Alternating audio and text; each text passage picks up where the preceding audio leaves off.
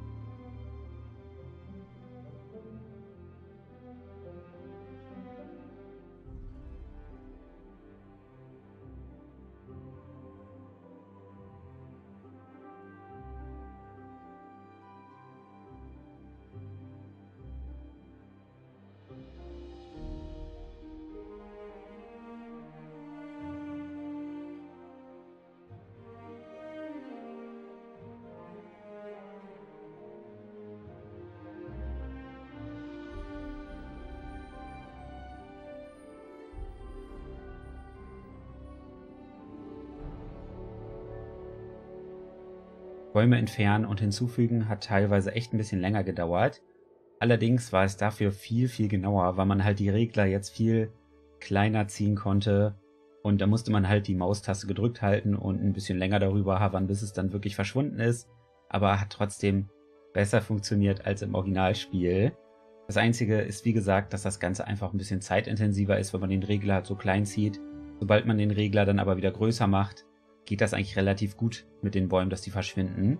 Aber ich habe das Gefühl, dass man trotzdem so einen Ticken länger immer über die Bäume rüber havern muss mit der Maus, bis sie dann verschwinden.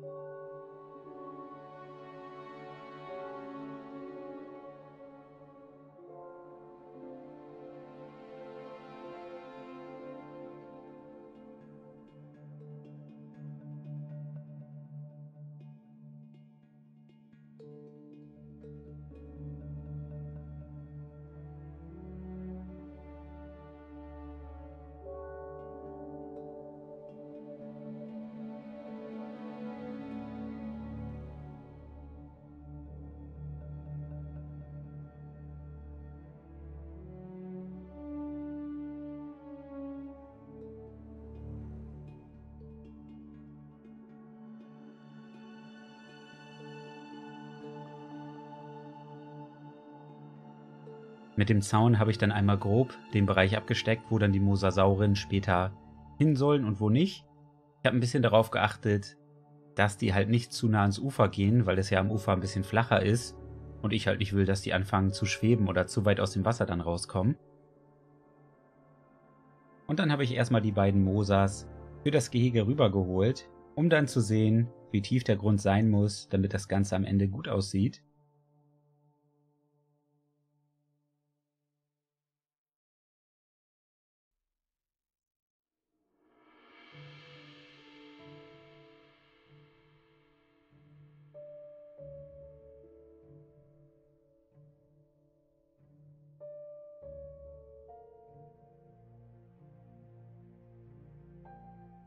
Ich habe dann teilweise die ein oder andere Stelle auch noch ein bisschen tiefer gemacht, damit es auch mal so aussieht, als wenn sie da mal ganz abtauchen.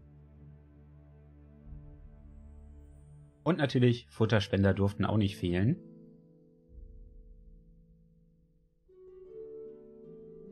Und verschwinden lassen habe ich den Zaun mit einer Mod, die heißt Invisible Fans, ist auch unten in der Videobeschreibung. Da habe ich dann einfach den Zaun ausgetauscht und dann war der Zaun unsichtbar und hat somit auch nicht mehr gestört. Und jetzt kommen wir nochmal zu einem kleinen Realtime-Part. Das hier ist unsere fertige Mosasaurus-Bucht. Ich muss echt sagen, ich bin sehr zufrieden. Es ging jetzt relativ schnell, das zu bauen und das Ergebnis ist echt nicht verkehrt. Da schwimmen unsere beiden Mosas. Und äh, ja, besonders beeindruckend sind natürlich diese Höhenunterschiede. Das Bauen hat auch echt gut funktioniert. Man muss es halt nur in der richtigen Reihenfolge machen. Aber mit dieser Mod, dass man jetzt das Terrain besser bearbeiten kann, da werden wir so viele tolle Möglichkeiten haben. Das hier ist die Ansicht aus dem ersten Turm. Da sieht man die Mosas. Die Mosas sehen auch gar nicht so schlecht aus, wenn die so im Wasser versenkt sind. Hätte ich vielleicht noch einen Ticken mehr ins Wasser machen können. Aber ich will ja auch, dass man noch so ein bisschen sieht. Ansonsten würde man die halt nur noch von oben sehen aus der Helikopterperspektive. Was auch irgendwie ziemlich cool aussieht. Hier im Hintergrund das Wasser. Ja, hier hat man auch eine wundervolle Sicht. Das ist so schön mit den Höhenunterschieden. Ich liebe das. Ich freue mich schon auf das nächste Parkbauprojekt. Das hier gerade ist ja eher noch so ein kleiner Test. Ist auch cool, wie die dann so ein bisschen mehr abtauchen. Dadurch, dass ich das teilweise tiefer gemacht habe.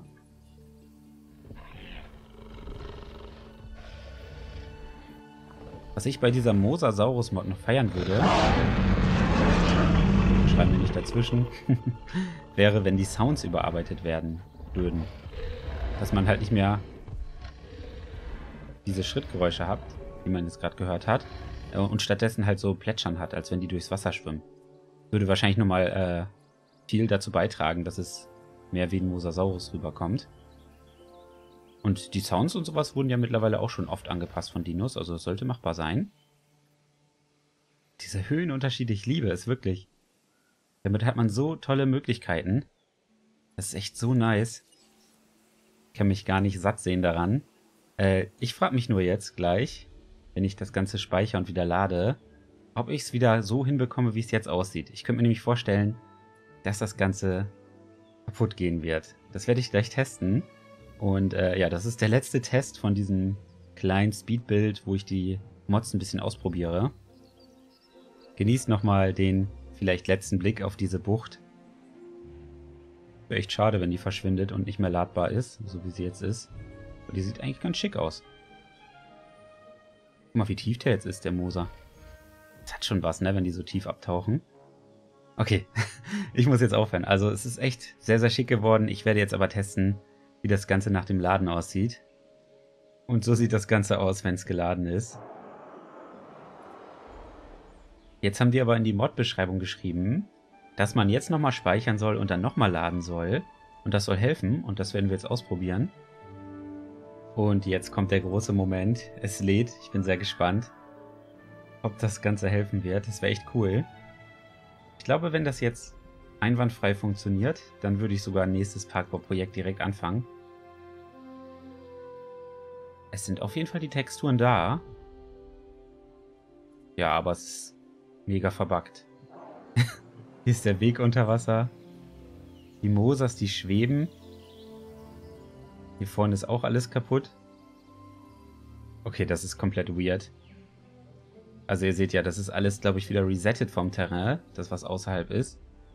Sieht zumindest so aus. Deswegen ist hier zum Beispiel der Weg unter Wasser und sowas. Ah, sehr, sehr schade. Aber Leute, das heißt für uns, diese Mod, die halt die äh, Map-Begrenzung aufhebt und die bebaubaren Flächen größer macht, die braucht erstmal noch einen Fix. Also die können wir so noch nicht benutzen, weil das funktioniert noch nicht einwandfrei. Allerdings hat die Mod, die die Terrain-Tools verbessert, auf jeden Fall den Test bestanden. Die hat sich echt gut bedienen lassen, die hat super funktioniert und damit kann man richtig, richtig coole Sachen bauen. Alle Mods, die ich hier in diesem Video verwendet habe, verlinke ich euch unten in der Videobeschreibung. Ich hoffe, dieser kurze Test und das Speedbild haben euch gefallen. Falls ja, würde ich mich über ein Like freuen. Und ansonsten wünsche ich euch noch einen angenehmen Tag. Macht's gut, haut rein. Euer Dandy.